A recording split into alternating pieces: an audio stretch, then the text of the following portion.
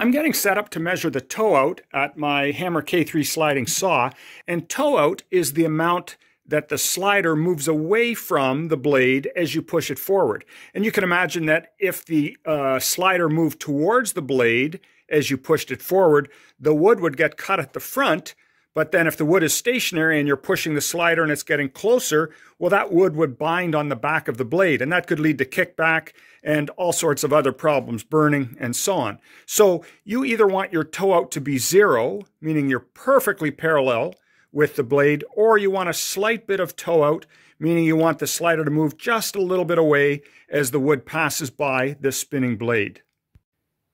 Measuring the toe out is easy.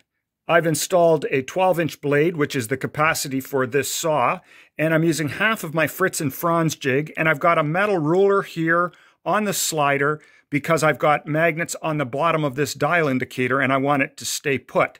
And I've zeroed, or at least I had zeroed the indicator there. And what I'm going to do is I'm going to push the slider so that the indicator is at the back of the saw blade, and I'm going to take a reading and compare the front reading to the back reading.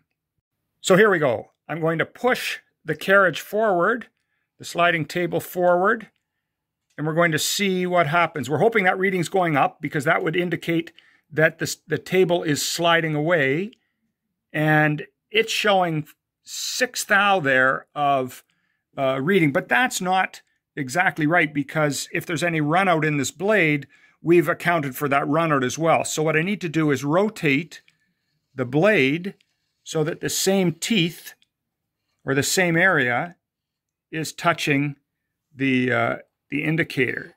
And if I do that, I'm now at about two and a half thou. So I've got about two and a half thou, three thou of toe out, which is, I, I think that's just right over that 12 inch span of the blade.